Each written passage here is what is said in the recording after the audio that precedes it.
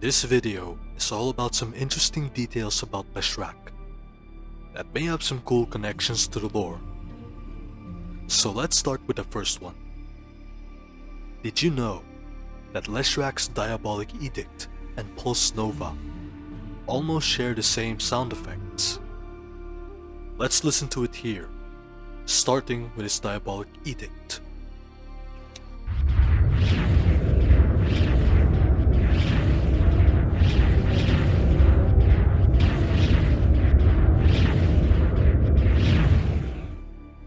Next one is his Pulse Nova. Let's listen to it closely.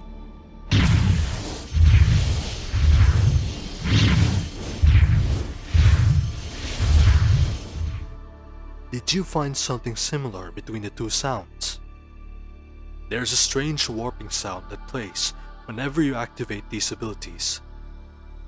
Looking at the Dota 2 wiki for the abilities sound effects, the two abilities have two sets of sounds. A background sound and a target sound. While the background sound is playing, the target sounds play whenever the spell hits something.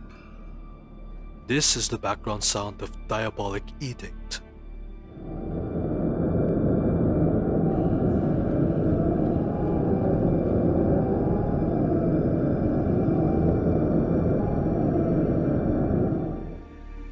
And this one is the background sound of Pulse Nova.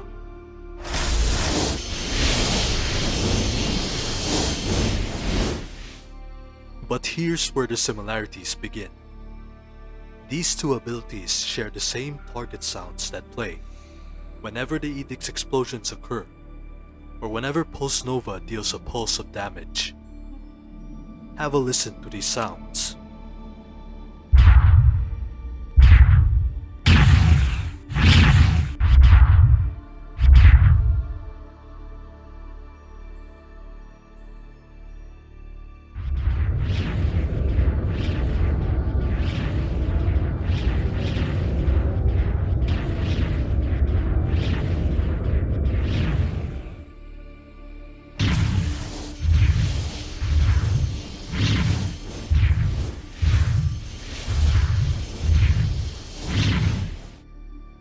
So what does this similarity mean?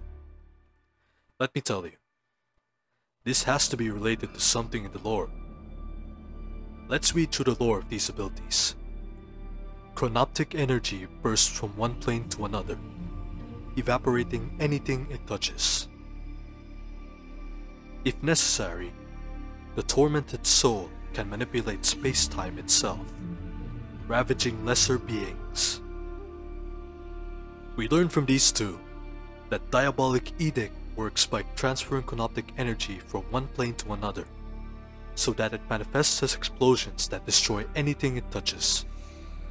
Pulse Nova works by creating waves of energy that manipulate space-time itself to destroy lesser beings. The sounds of Diabolic Edict's explosions is the same as the sounds of Pulse Nova's waves or energy. All of these similarities could mean that both of these abilities use chronoptic energy, but with a different application.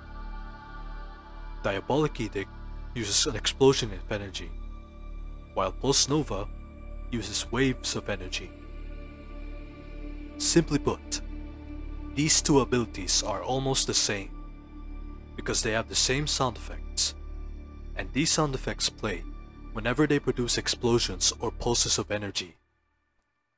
And that means that they use the same energy too, which might be the chronoptic energy mentioned in the lore of Leshrac's Diabolic Edict.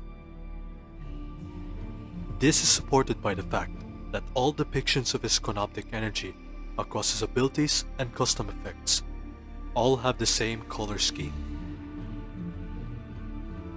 The next detail that we're going to explore is the common themes in Leshrac's immortal items.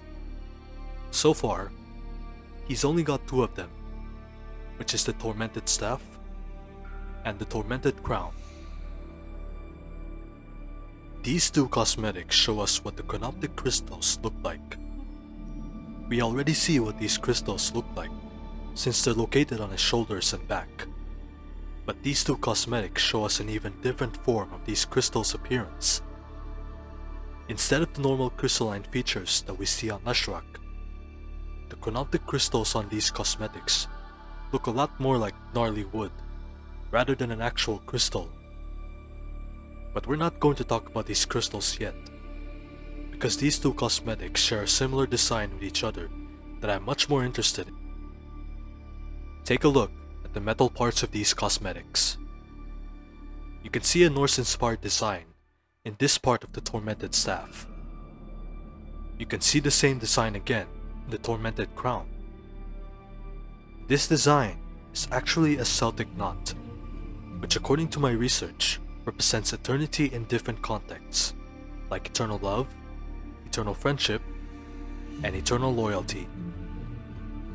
Celtic designs are shared with Norse designs as well, hence its use in some Norse art. As for what this Celtic knot represents in Leshrac, I'm not too sure about it honestly. I don't know if Leshrac has something to do with eternity or forever, but I might explore that in another video. But what if I told you that this design means something far more greater than what I said?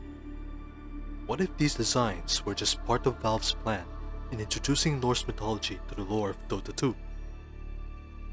It all started with Mjolnir, whose description mentions Thor and the dwarves Brok and Sindri, who made this hammer. Fast forward a few years later, we have the Tormented Staff released in 2015, which has Celtic knot designs on it. A few years later in 2019, we have the likes of Hoodwink, who introduced a good amount of Norse mythology with Gleipnir, and implications of Fenrir's later release. So where does Leshrac fit with all of these plans to add Norse mythology to the lore? Leshrac is a very underdeveloped hero in the lore, because there are not many heroes, characters, and other lore that is interconnected with his own story and lore. One of the few heroes who are connected to his lore is Hoodwink, who says these interesting lines to him when she kills him. Wait, there's one of you here too? Bro, she is not going to be happy that I killed you. Oh well, she already had it out for me anyway. These lines are quite mysterious without context, but I might be studying these lines in a later video. As for why I brought these up, Leshrac might have an equivalent in Norse or Celtic mythology if this guy is related to Hoodwink, who also brought a good amount of Norse mythology with her release. So please remember the Celtic knot designs that we see on Leshrac's Immortals, the next time you see something related to both Norse mythology and Leshrac in Dota 2. There's no way that Valve put those Celtic or Norse inspired designs on Leshrac's Immortals without purpose. That's all for Leshrac's details. I might go further into this character's lore, because I feel like Leshrac needs more attention to the lore community, since he's such an unpopular character in terms of the lore. I'll be seeing you all in the next video.